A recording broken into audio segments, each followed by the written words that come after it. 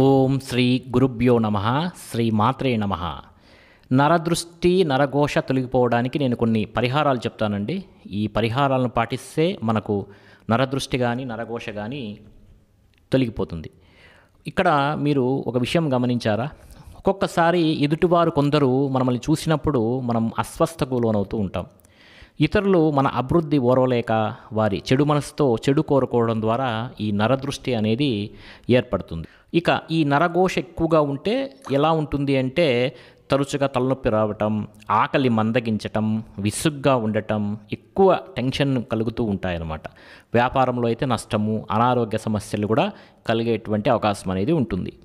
అంతేకాదు అందరితో గొడవలు పడటం అందరూ మనకు శత్రువులుగా మారటం పని మొదలుపెట్టిన ఆలస్యం అయిపోతూ ఉండడం మీ కష్టానికి తగినటువంటి ప్రతిఫలం లేకపోవడం కూడా ఈ నరఘోష లక్షణాలే.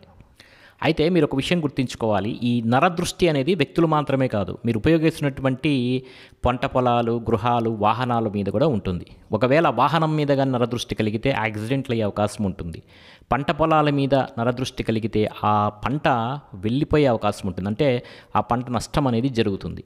మరి ఇలా నరదృష్టితో బాధపడేవారు చాలా చిన్న పరిహారం అండి. ఆంజనేయ స్వామి యొక్క బడవాణల స్తోత్రము అని వస్తుంది.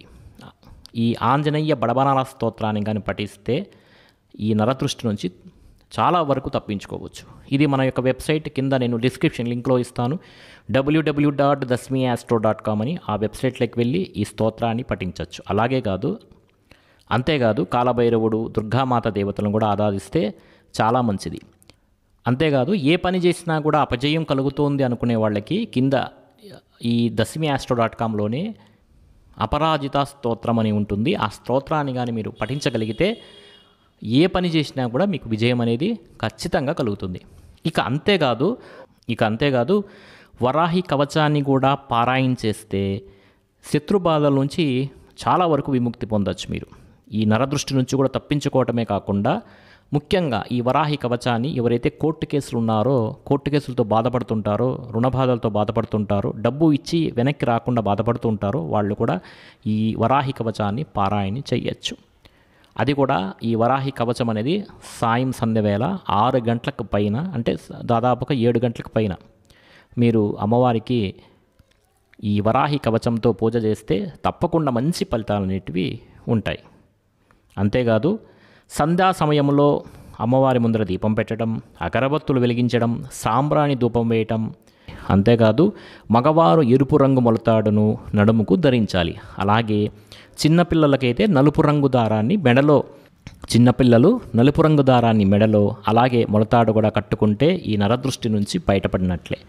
అంతేకాదు ఈ నరదృష్టి పోవాలంటే వారానికి ఒకసారి మనం స్నానం చేసే నీటిలో ఉప్పుని వేసుకుని ఆ నీటితో స్నానం చేయడం వల్ల నరదృష్టి తొలగిపోవటమే కాకుండా కాస్త శరీరానికి అలసట కూడా తగ్గుతుందన్నమాట.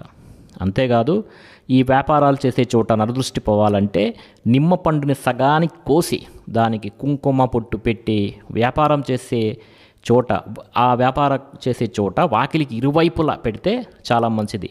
ఇలా ప్రతి మంగళవారం చేయడం వల్ల నరదృష్టి తొలగిపోతుంది. అలాగే అమావాస్య పౌర్ణమి అష్టమి నవమి వంటి తిథుల్లో కూడా ఉదయం సాయంత్రం పూట సాంబ్రాణి వేస్తే కూడా చాలా మంచి ఫలితాలు ఉంటాయి. నరదృష్టి నుంచి తప్పించుకున్నట్లు అవుతుంది. అంతేకాదు గోమూత్రాన్ని వ్యాపారం చేసే చోట చల్లటం కిరాణా షాపుల్లో మీకు మనకు స్ఫటికం అని దొరుకుతుందని స్ఫటిక అంటే ఇస్తారు. అది తెచ్చుకొని ఒక ఎరుపు రంగు బట్టలో కొంచెం పసుపు కుంకుమ అలాగే నవధాన్యాలు వేసి దానిని మూట కట్టి ఇంటి గుమ్మానికి వేలాడదీయటం వల్ల కూడా నరకోశ తొలగిపోయేటువంటి అవకాశం ఉంటుంది. అంతేకాదు ఏ గృహమైనా కానీ వ్యాపార సంస్థ అయినా కానీ రాళ్ళ ఉప్పు మిరపకాయలు ఆవాలు ఈ గుమ్మడికాయ లేదా కొబ్బరికాయ నిమ్మకాయతో దిష్టి తీయడం మంచిది.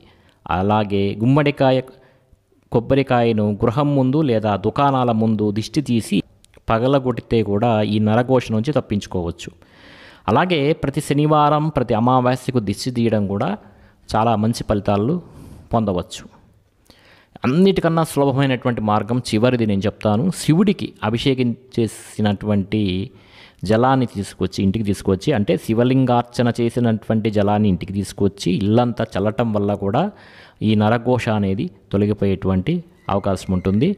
తప్పకుండా ఈ ఛానల్ని సబ్స్క్రైబ్ చేయండి. కొత్త వారైతే పక్కన బెల్ ఐకాన్ క్లిక్ చేసుకుని ఆల్ నోటిఫికేషన్స్ని ఆన్ చేసుకోండి.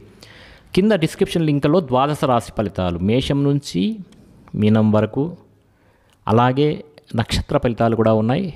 వాటిని కూడా మీరు తెలుసుకోవచ్చు. మీకందరికీ శుభ ఫలితములు కలుగ్గాక. శుభం.